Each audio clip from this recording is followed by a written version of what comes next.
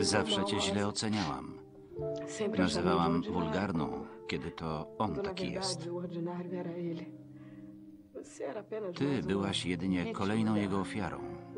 Mój mąż jest podłym zboczeńcem i zwyrodnialcem, ale ja się zemszczę. Przygotuję zemstę bardzo dokładnie. Zostanie sam, bez kobiety i bez pieniędzy.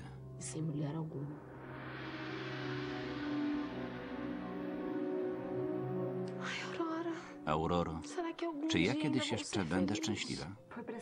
Po to stworzył nas Bóg. To dlaczego czuję się taka nieszczęśliwa? Jesteś śliczną dziewczyną, pełną zalet i wdzięku. Masz wspaniałą rodzinę. Na dodatek oczekujesz dziecka. Odkąd wyszłam za mąż, marzyłam, że zostanę matką. Ale Bóg nie zesłał mi tego szczęścia. Niestety, nie powinnaś narzekać.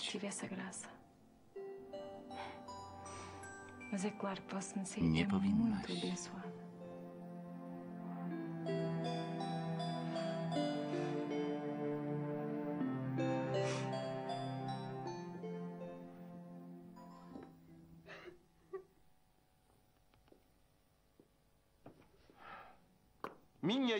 Moja ukochana żona, dlaczego płaczesz?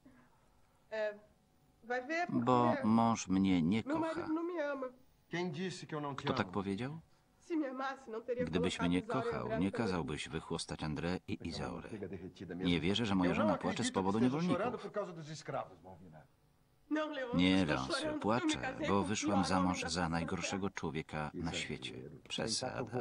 Chodź, zaraz ci pocieszę. Nie chcę.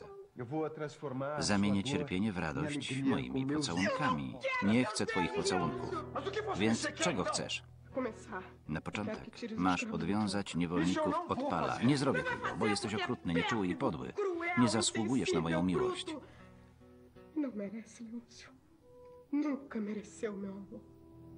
Nie pierwszy raz mówisz mi takie rzeczy. Zauważyłem, że dziwnie się zachowujesz. Może dlatego, że do vencida. jutra trzeba spłacić hipotekę. Powinnaś pojechać do ojca i sprawdzić, czy spłacił długi w banku, jak obiecał. no. Oczywiście. Pojadę cedo wcześnie à casa rano. Pewnie się denerwujesz. Nareszcie pozbędziesz się długów. Nie vejo a mogę się już tego doczekać. Dívidas. Sam zaciągnąłeś te długi. Pamiętaj, że płaci się za wszystko, co się w życiu zrobiło. Twoje wybory określają, jak będzie wyglądała przyszłość. Dlaczego tak mówisz? To wygląda jak groźba. Możesz to rozumieć jak chcesz. Ale ostrzegam, jeśli coś złego się wydarzy, to z twojej winy. a culpa é sua. Silêncio! Panie Leoncio, przestraszył mnie pan. Sierżant mówi, że przyszedł po pana. Co to u diabła znaczy? Jest pan Geraldo i ten, ten. Pan Alvaro. Przecież on nie żyje. Okazuje się, że żyje. Jest tutaj. Sam mu strzeliłem prosto w serce. Co to, najazd na mój dom? Panie Leoncio Almeida, jest pan aresztowany za próbę zabójstwa na panu Alvaro Mendozie. Co to za absurd? Nie ma pan prawa. Zatrzymuję pana w ramach śledztwa. Przed chwilą sam pan powiedział, że no strzelił prosto w serce Alvaro. Não, não. Nie, Não. panowie źle mnie zrozumieli. Mówiłem, że strzeliłem prosto w serce mojemu no koniowi. Biedak złamał nogę i musiałem ukrócić jego cierpienia. um tiro de misericórdia no coitado. Foi isso. Ostrzegałam cię, Leoncio. Mój mąż zostanie aresztowany. Jakim prawem pozwalasz sobie odbierać życie innym? Jakim prawem? Zaskoczony na mój widok. Zapłacisz za swoje zbrodnie w więzieniu. Nie rozumiem tego. Milcz, Francisco. Kula utkwiła w krzyżu, który zawsze przy sobie noszę. Na twoje nieszczęście, draniu. Proszę go aresztować, sierżancie. Nie będę długo w areszcie. Jestem przyjacielem sędziego i ministra sprawiedliwości. Sędziego nie ma i nie wiadomo kiedy wróci. Załatwię panu przeniesienie na wojnę albo do Amazonii. Najlepiej w pobliżu jakiegoś dzikiego plemienia. Bem perto de uma tribo de índios bem ferozes. Não vai me Nie intimidar boję się com pana. Załóżcie mu kajdanki. Não é necessário Nie trzeba. Pójdę z panem na komisariat dobrowolnie. Muszę pana zakuć w kajdanki, bo jest pan niebezpieczny. Nie będę ryzykował. um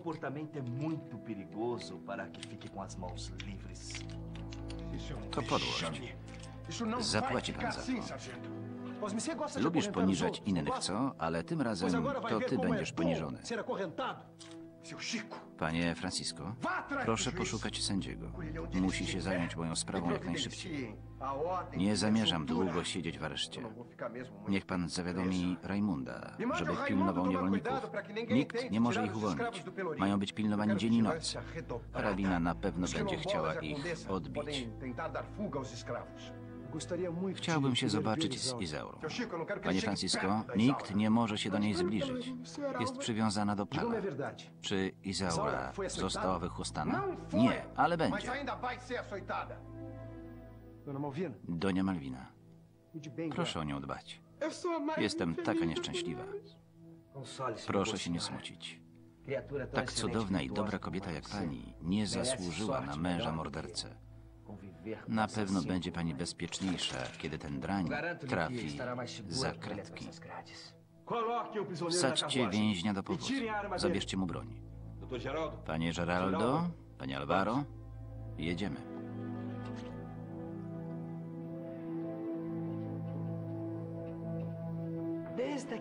Od tamtej nocy, kiedy urządziłam przyjęcie, wciąż o panu myślę.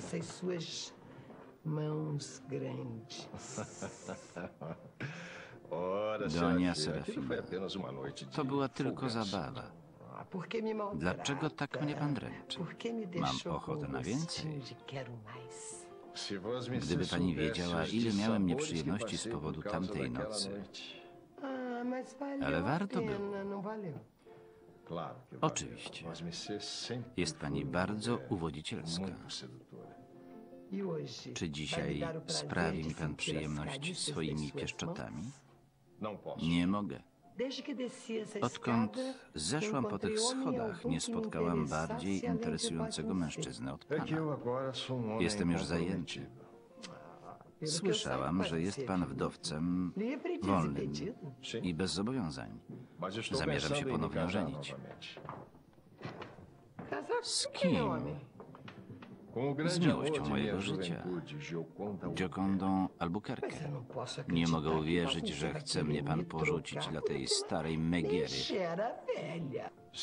Owszem, nie będzie już pani musiała tracić na mnie czasu. Dzisiaj mogę się oddać temu, na kogo mam ochotę i to za darmo. Mam mnóstwo pieniędzy. Jestem bardzo bogata. Wiem, zarabia pani na tych biednych dziewczynach. Nie mam wyrzutów sumienia. One tu są z własnej woli. Nie zmuszam ich do niczego. W takim razie niech pani dobrze wykorzysta swoją fortunę. Zawsze będzie pan mnie traktował jak prostytutkę? Chce pani znać prawdę? Zawsze. Cóż mogę powiedzieć? Niech pan będzie szczęśliwy ze swoją Giocondą. Ale skoro już pan tu jest, możemy urządzić wieczór kawalerski. Kiedy kocha się po raz ostatni, smakuje to jeszcze lepiej.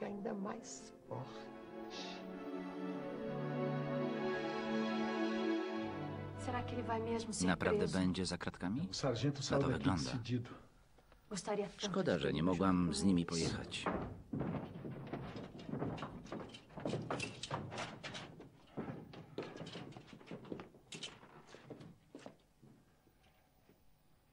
Wiedziałem, że to Mazja za tym stoi. por Nie mogłabym stracić takiego widoku. Leôncio. O prazer Leôncio de vê-lo Almeida za kratkami. Każdy musi um zapłacić za swoje czyny. Sprawiedliwość nierychliwa, ale w um końcu nadchodzi. Widział pan moją córkę? Infelizmente, não me deixaram, senhor Nie pozwolono mi. Pojechaliśmy do hacjendy pana Leoncia Para i aresztowaliśmy go za próbę e zabicia pana Alvara, jednak w sprawie Izaury nic nie mogę zrobić. Quanto à escrava, eu não posso fazer nada. Biedaczka. no. Jest przywiązana do Pala. Jeszcze jej nie wychłostano. Ale będzie wychłostana. Przede wszystkim za ten afront. Sędzia mnie stąd wyciągnie i kiedy stąd wyjdę, natychmiast każę E wychłostać Izaurę. ser chicotear a Isaura. Vai, leve-no!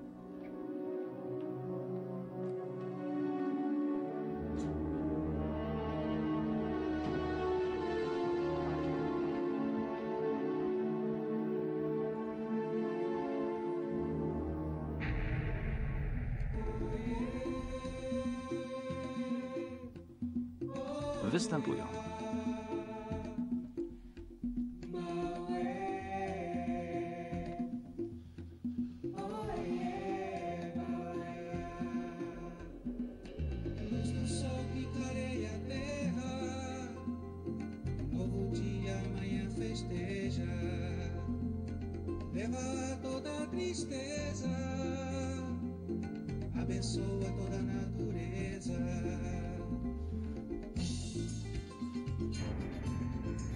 Niewolnica Izaura, odcinek 132.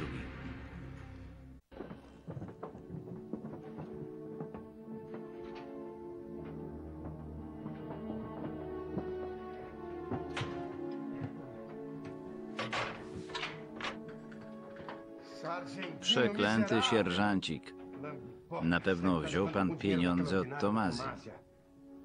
Nikt nie odważył się mnie aresztować. Jestem synem komandora Almeidy. Spełniam tylko swoje obowiązki. Jakie? Bierze algum pan pieniądze od tej wstrętnej Tomazji? Lei. que Strzelił pan z zimną krwią i to z bliska do pana Alvara. Mentira! To kłamstwo. Eu. Strzelał pan Mikel, mam świadków. Przesłuchałem pańskich świadków. Ale ofiara pojawiła się żywa i to wszystko zmienia. Pan no Alvaro twierdzi, że to pan do niego strzelał. Zemszczę się na wszystkich. Banda drani, bandyci. Nie zostawię tego tak. Ficar To wszystko wina Izaury. Zemszczę się na niej. Wychłoszczę ją aż umrze. Może pan już przygotować kwiaty na jej pogrzeb. Niech pan wreszcie zamilknie. Lepiej się czujesz? Zaczynam oddychać. Myślałem, że się duszę. Brakowało mi powietrza. Straciłeś dużo krwi. Powinieneś pić dużo wody i jeść.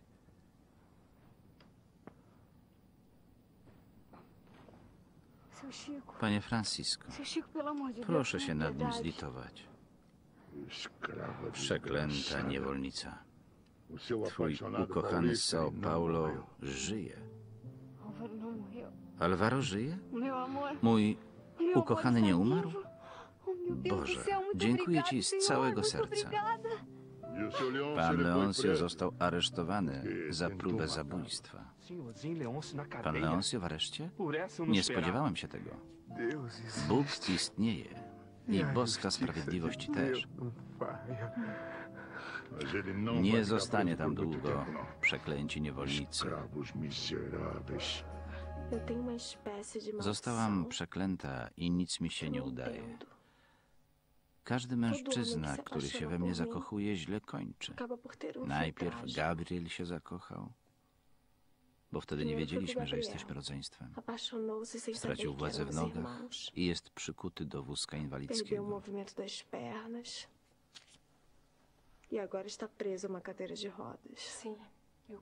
Znam go. To wspaniały chłopak, ale na pewno znajdzie swoje das szczęście. Potem doktor Paulo, którego zabiłam własnymi rękami. Zrobiłaś to, co musiałaś, żeby się bronić. Siebie i dziecko, które no w sobie nosisz, a także twojego também o Dr. Diogo. ukochanego doktora amor. Nie miałaś wyboru. Havia To była obrona własna. Nigdy by cię za to nie skazali. Czuję się skazana na nieszczęście. Cały czas myślę o tej tragedii. Mój ukochany Diogo, queria... moja prawdziwa miłość jest zbiegiem. Ścigają go za przestępstwo, którego nie popełnił. Ja to zrobiłam. Czy ja przynoszę wszystkim pecha? Nie mów tak nawet. Ja też czułam się nieszczęśliwa. Skazana na wieczne cierpienie. Mój mąż zginął w Lizbonie potrącony przez powóz. Niedługo minie rok od tej tragedii. Zostałam sama. um. E Dopiero teraz mam ochotę zacząć życie od nowa. Czas jest najlepszym lekarstwem. Nie ma cierpienia, które z czasem nie minie, ani rany, która się nie zabliźni. Não há ferida que não cicatrize, Helena. Só aquelas Ale que te matam. rany Ah, zabijają. Helena. One się Mesmo zabliźnią. essas cicatrizam. Zabliźnią się.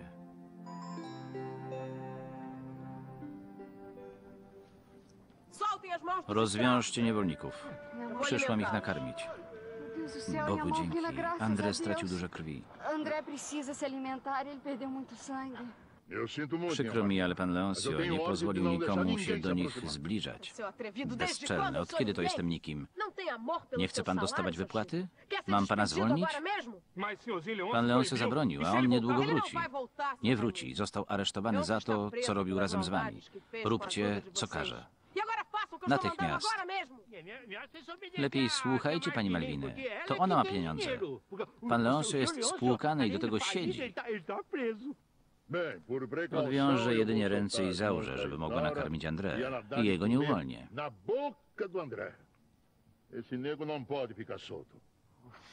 Boisz się, przeklęty bandyto. Dobrze. I koniec rozmów. Rozwiążcie Izaurę. Musi coś zjeść i się napić. Oczywiście.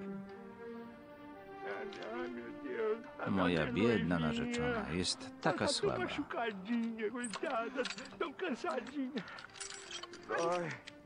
Ale boli. Dziękuję, pani vai se przeżyje.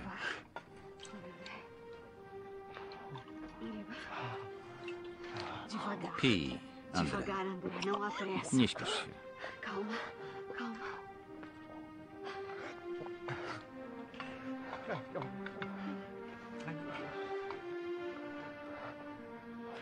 Devagar, André. Spokojnie.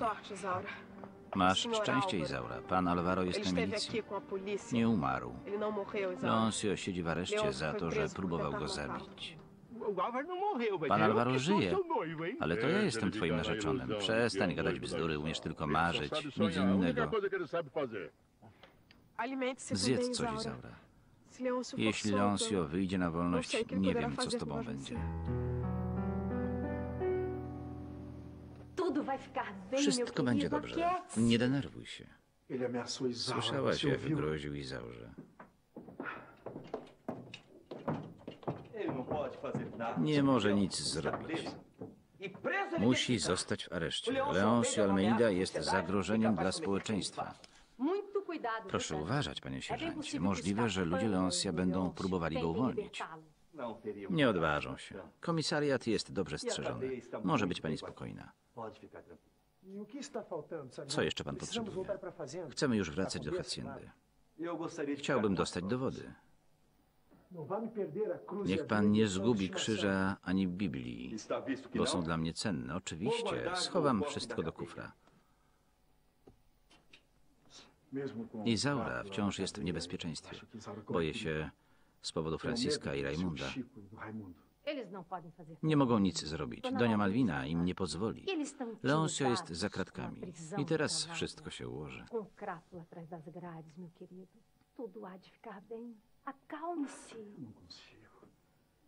Jestem zdenerwowany.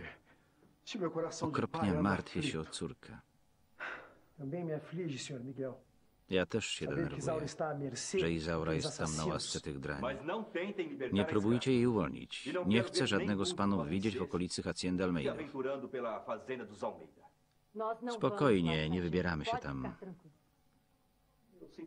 Tęsknię za piosenkami pana Miguela, ale nie chciałbym go zobaczyć za kratkami. A pan Alvaro na pewno nie chciałby dotrzymać towarzystwa panu Leoncio. Spokojnie. Pani Malwina nie pierwszy raz chroni Izaurę. Nie pozwoli, żeby spotkało ją coś złego. Mogą mi państwo zaufać. Wszystko załatwię. Uspokoję się, kiedy Izaura będzie wolna.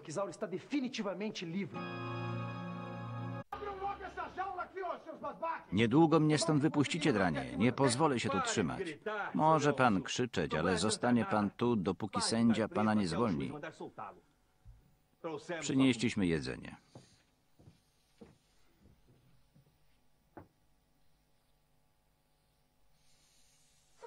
Śmierdzi. Nawet świnie w mojej hacjendzie nie jedzą czegoś takiego. Więc będzie pan głodny. Jeśli pojawią się szczury, niech pan nie narzeka. Niech pan kogoś przyśle, żeby tu posprzątał. Nie jestem pańskim pracownikiem ani niewolnikiem. Lubi pan wydawać rozkazy, ale tutaj to ja je wydaję. Bezczelny. To ty jesteś bezczelny, sierżanciku. Za kogo pan się uważa? Jest pan nikim, nawet w tym areszcie.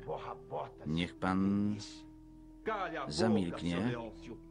Niech pan zamilknie, bo wtrącę pana do celi z innymi więźniami. Nie odpowiadam za to, co z panem zrobią. Nie może pan mnie wtrącić do celi z tymi bandytami. Zrobię to, jeśli nie będzie pan grzeczny.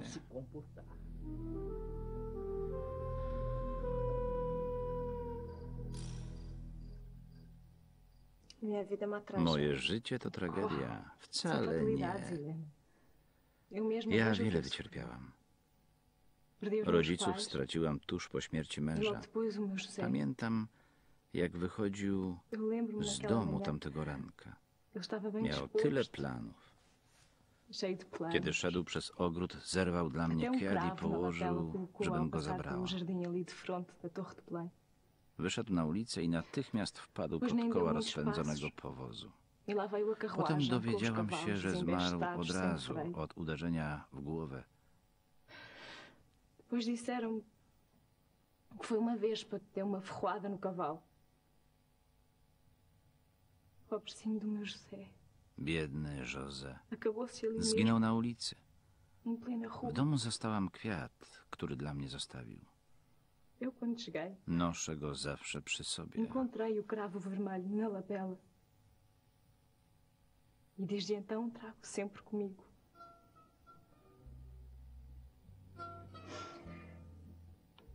Foi o que ficou do meu amor. Tylko to po nim zostało. Kuzynko, nie smuć się. To przeszłość. José zostawił mi uschnięty kwiat, a nie zostawił mi dziecka. Jesteś młoda i silna, zakochasz się.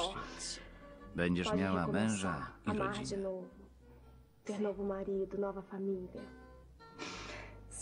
Nie me się. Los mnie zaskoczył, ale walczę z nim. Nie poddam się tak łatwo. Reajo. Não entrego fácil. Queria ter a sua força Chciałabym mieć para twoją esse siłę. momento. Ai, se ao menos eu Gdybym tivesse przynajmniej notícias de miała Diogo. wieści od Diogo. Mas está vivo. Najważniejsze, że E é żyje. isso que conta, Na pewno Helena. wkrótce przyślę jakąś wiadomość. E há de mandar notícias assim que puder. Tenho certeza disso. Tomara. Oby. Zrezygnuj ze mnie. Zapomnij o moim istnieniu. Nie potrafię. Zostań ze mną. Kocham cię. Nie potrafię żyć bez ciebie. Zabierz ręce. Nie chcę cię więcej znać. Trzymaj się ode mnie z daleka. Ode mnie. I od kuzynki Aurory. Ta wstrętna kuzynka z Portugalii. Co ona ma, czego ja nie mam? Jasne włosy i oczy?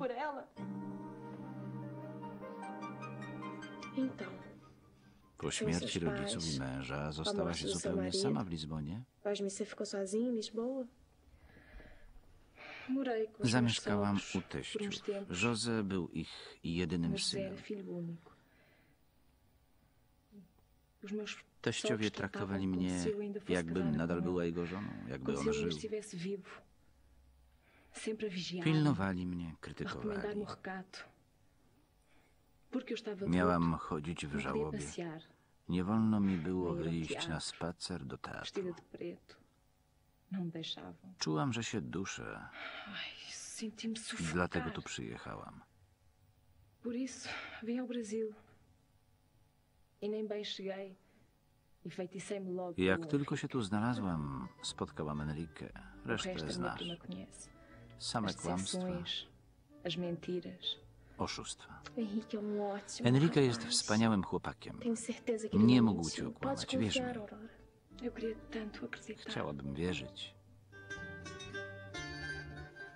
Morreu, Jesteś pewna, Rosa? że doktor? Paulo nie żyje? Chłopak z czworaków rozmawiał z żołnierzem od o sierżanta. Od niego się o tym dowiedział. Znaleźli ciało w jakiejś gospodzie we wsi Estrela d'Alva. Podobno zabił go doktor Diogo. Mój Boże, biedna Elena. Taka tragedia. Słyszałam, że panienka Elena wróciła do domu ojca. Jutro do niej pojadę. Straszne wieści. Kiedy to się stało? Parece Jakieś dwa, assim trzy uns, dni temu. uns dois ou três dias. Eu sou sempre a última a Zawsze dowiaduje się ostatnio. Ta hacienda znajduje się daleko od miasta. Tutaj też wiele się dzieje. André i Izaura są przywiązani do pala. E Biedny André okropnie cierpi. Tak wiele się wydarzyło w moim życiu, że zapomniałam o innych ludziach. Muszę się zobaczyć z Eleną. Ja też. Chcę się widzieć z moją siostrzyczką Eleną. Nie. Jutro pojadę tam sama. Czy zawsze ktoś będzie mi zabraniał wszystkiego? Nawet tutaj, moja własna siostra. Dlatego tak nienawidzę być niewolnicą. Przeklęte życie. Przestań. Powiedziałaś, że będziesz grzeczna. Widzę, że moja siostra jest na mnie zła. I to za to, że powiedziała mi o zamierzeniach pana ficar Nie ma o czym mówić ani czego wspominać. Ta wiadomość pomogła mi podjąć decyzję.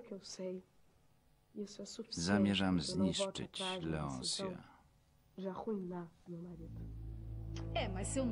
Gdybym siostry nie zawiadomiła, mógłby ją nawet zabić, kiedy hipoteka będzie już spłacona. Jestem ci za to bardzo wdzięczna. Ale teraz zostaw mnie w spokoju. Nie mogę już nawet zajrzeć do me Pan Leoncio mi zabronił, bo bał się, że będę maltretować Izaurę. Ale ja chcę pomóc André. Raimundo i pan. Francisco nie pozwalają mi się do niego zbliżyć. Spokojnie. André żyje. Niedawno zaniosłam mu jedzenie i picie. Izaurze też. Pan Leoncio naprawdę został aresztowany? Tak. Nie sądziłam, że do tego dojdzie. Wyrządził tyle zła tak wielu ludziom i foi nigdy go preso. za to nie zamknęli. Conformar. Nie mogę się pogodzić z tym, co me słyszałam. Z tym, co Leoncio mówił do pana Franciska. Nagle moja miłość zamieniła się w nienawiść i w złość. Transformou em ódio, em raiva do meu marido. Eu sei. que Wiem. Ja też czułam złość na do Wciąż powtarzał, że kocha Izaurę, tę idiotkę. Uważam, że to ją trzeba było wychłostać, nie jego. Um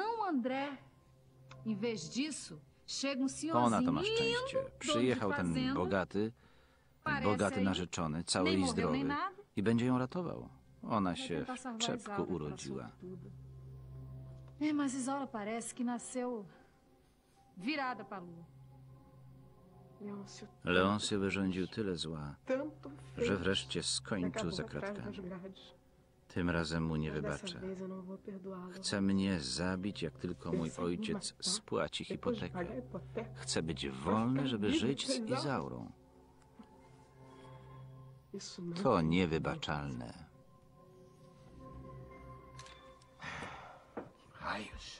Do diabła. Tutaj nie da się spać.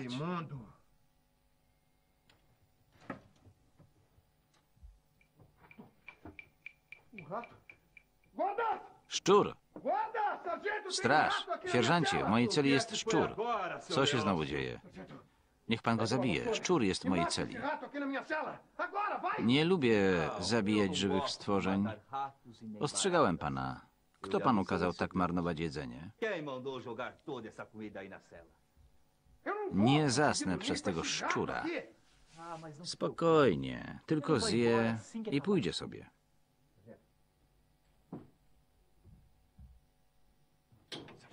Sierżancie, ile pan weźmie za to, żeby mnie wypuścić? Próbuje mnie pan przekupić? Każdy ma swoją cenę. Przekażę sędziemu, że próbował mnie pan przekupić. E Co pan na tym zyska? Chcę zrobić wrażenie na komendancie milicji w stolicy. Może dostanę awans za to, że tak dobrze pracuję. E não por um acerto ilícito. Zrobię wszystko, żeby pana zdegradowali. Wróci pan na ulicę albo do wojska. Rozśmiesza mnie pan. Nie ma pan takiej władzy. Nie zasnę tu. Chcę spać we własnym łóżku. Ale zostanie pan tutaj, w swojej celi.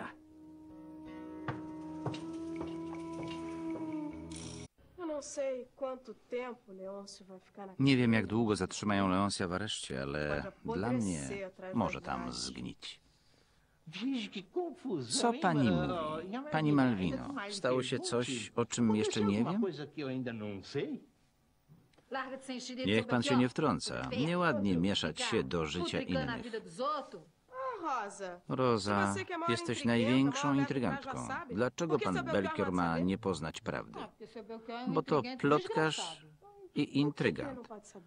Niech wie, że mój mąż woli niewolnicę od własnej żony, że jest niebezpiecznym mordercą i że mnie nienawidzi. Na pewno wszystko już wie. Rozumiem. Pewnie słyszała pani te głupoty, które pan Leoncio mówi panu Francisco. Proszę się nie smucić, nie warto. Lepiej znać prawdę niż nie mieć o niej pojęcia. A smutek należy do tych rzeczy, które dość szybko mijają. Pro Napiszę list do mojego ojca. Chcę, żeby go pan zaniósł jutro z samego rana. Oczywiście, oczywiście. Ale mam pytanie. O czym chce pani napisać do ojca? Jeszcze tego brakowało. Nie zamierzam z panem rozmawiać o moich osobistych sprawach. A nie mówiłam? Zawsze wiedziałam, że pan Belkior jest bardziej ciekawski ode mnie. Powtarzałam to ojcu pułkownikowi. Dość. Nie macie prawa mieszać się w moje życie.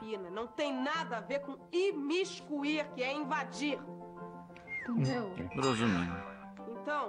Ma pan zanieść ten list jutro wcześnie rano i niech pan się nigdzie nie zatrzymuje.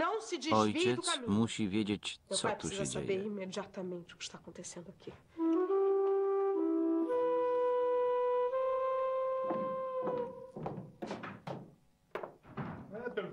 Widzę, że Elena i kuzynka Aurora położyły się już spać. Szkoda. Queria tanto ainda poder Chciałem jeszcze choć raz ujrzeć Aurorę.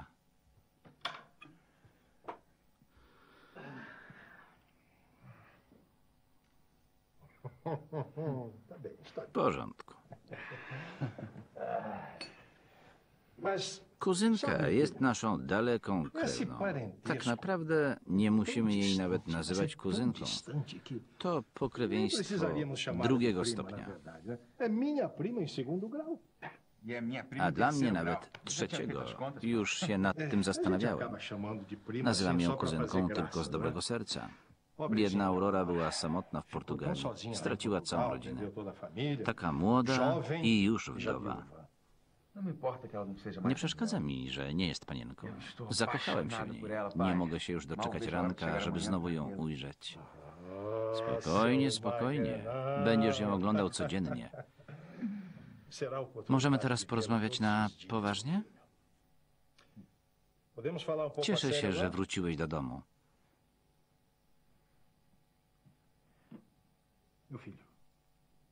Jutro zmienię testament. Zawsze będziesz moim głównym spadkobiercą. Amanhã mesmo eu vou refazer meu testamento. Porque vós me ser é e será Tak postanowiłem. Nie musisz się tym przejmować. Zostaw wszystko moim siostrom. Nie ma o czym mówić. Myślisz, że Aurora mi wybaczy? Trudno powiedzieć, co się dzieje w umyśle i w sercu kobiety, ale wierzę, że ci przebaczy. Mas acredito que sim.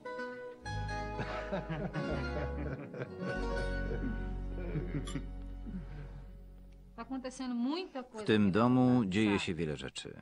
Ja o nich wiem, a pan nie. Opowiadaj, aż mnie skręca z ciekawości. Moja siostra, pani? Malwina, bardzo mi ufa i wszystko mi opowiada, ale panu ona nie ufa. Od razu widać, że w tym domu wszystko jest poprzewracane do góry nogami. Nie rozumiem, dlaczego pani Malwina nagle zaczęła ci ufać.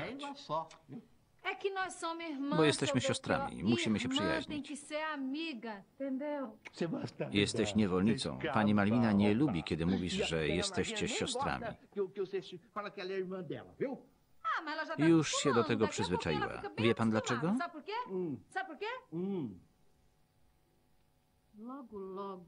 Już niedługo będę panią tego domu. Pani Malwina zamierza opuścić pana Silêncio. Leonsia. Naprawdę? Zostawi go w biedzie. Mój ojciec, pułkownik Sebastiał, nie spłaci hipoteki domu i pan Leoncio zostanie z niczym. Straci hacjendę i zostanie bez grosza. Będzie bardziej biedny od nas. Coś takiego. Roza, zabraniam ci mówić, co się tu dzieje. Nie chcę, żeby moje życie było omawiane przez służbę. Não quero minha vida particular na boca dos criados. Mas não é mesmo? Słyszał pan? Nie ficar wolno panu o tym mówić. Nikomu. Słyszał pan? Ouvi, ouvi. Oczywiście, ale nic nie zrozumiałem. Pani Malwino, pan Leoncio jest w więzieniu i będzie biedny. E vai ficar Jak to? É isso? Tak będzie, ale nie wolno wam o tym nikomu mówić. Musimy zachować to w tajemnicy. Przede wszystkim przed panem Franciskiem i Raimundo. Jutro rano ma pan zanieść ten list do mojego ojca. Jutro rano.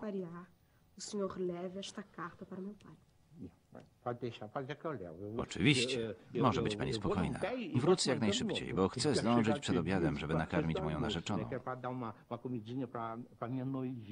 Mojego kwiatuszka.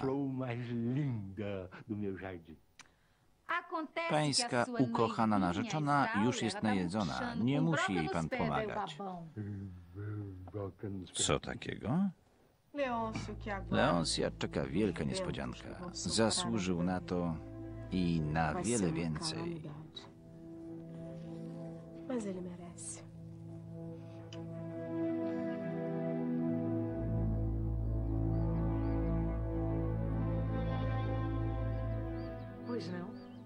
Czym mogę pomóc? Przepraszam, czy to dom hrabiny de Campos? Tak, jestem jej matką. A pani? Perpetua Mendoza, matka Alvara. Proszę wejść i się rozgościć. Sente-se, sente-se. Por favor. Mamãe? Mamo,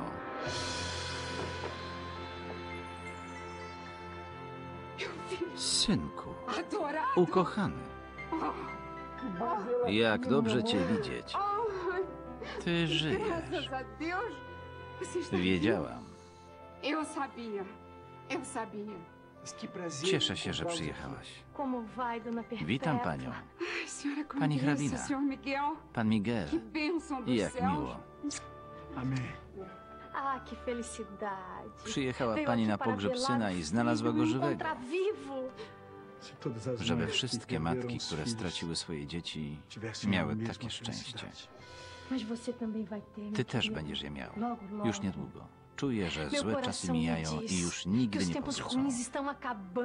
Nie e powrócą. os Oby tak się stało. Miguel? Panie Miguelu, Pedrinho. Cieszę się, że cię widzę. Dona Condessa? Pani hrabina, ale wyrosłeś.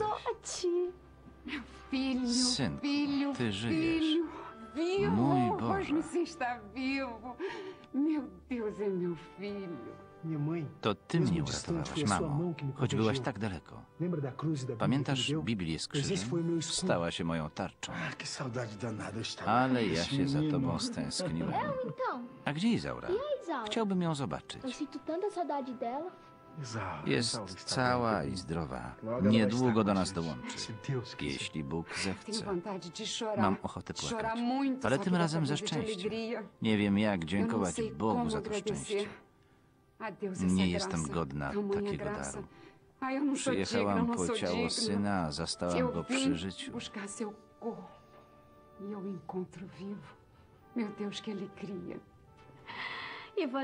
E Jak się masz?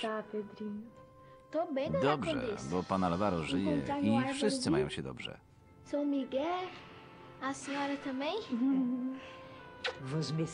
Um się de mleka z czekoladą? Idź, czekolada jest pyszna. Pani Gioconda gotuje tak samo jak. Izaura. Jestem Donia Gioconda. Mam pyszne słodkości.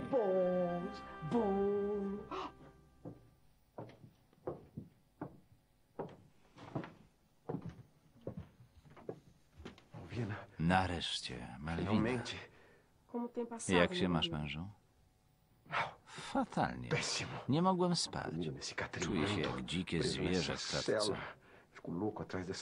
Wyciągnij mnie stąd, bo oszaleję. tirá-lo, Jak mam to zrobić? Zostałeś oskarżony o próbę zabójstwa. Strzeliłeś no do pana Alvara przy świadkach. Ale ja też mam swoich dele, świadków. Crer. Nie mogę uwierzyć, że zabijanie sprawia ci przyjemność. Proszę, zabierz mnie stąd. Zatrudnij najdroższego adwokata. Najdroższego. Zapomniałeś, że jesteś bez grosza? Kiedy twój ojciec spłaci hipotekę, będę miał znowu otwarty kredyt w banku. Eu já Tak. Wysłałam już list do ojca. Przypominam mu w nim o naszej hipotece. Mam nadzieję, że dotrzyma słowa. Odwołałem dla niego licytację Izaury, przez co straciłem dużo pieniędzy. Mój ojciec o tym pamięta. Nie mogę tu zostać. Błagaj, żeby ojciec mi pomógł. Nie zgodzi się. Wiesz, jak cię nie lubi. Nie ruszy palcem, żeby ci pomóc. Mój teść jest bardzo pamiętliwy. A nie ma powodów? Uważasz, że jesteś idealnym mężem? Jeśli przyszłaś mnie dręczyć, to lepiej już idź. Uważasz, że weszłam tu z podniesioną głową? Wszyscy mnie widzieli. Przed chwilą spotkałam central. żonę majora Tavaresa. Ona jest większą plotkarą od Rozy. Co z niewolnikami? Niech pan Francisco wychłoszcze... No, no, Nie, no, nie pozwolę na tyle przemocy. Kiedy stąd wyjdziesz, będziesz mógł robić, co zechcesz. A co z niewolnicą? Z Izaurą? Jest słaba i bardzo Fraquinha, muito smutna, ale dobrze się czuje. Powiedz, wie już, że ten jej ukochany żyje?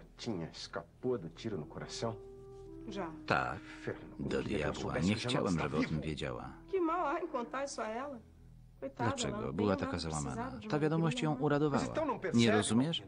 Ta wiadomość daje jej siły do walki, a ja chcę ją zniszczyć. Zabierz mnie stąd, muszę ją zabić. Zabić Izaurę? Dlaczego? Już wiem. Nie możesz znieść myśli, że ona ucieknie i znowu znajdzie się w ramionach Alvara. Milcz. Zabiję ją. Nie dopuszczę do tego. Myślę, że ten pobyt tutaj dobrze ci zrobi. Musisz się nad sobą zastanowić. Nadal brakuje ci rozumu. Jak to? Grozisz mi?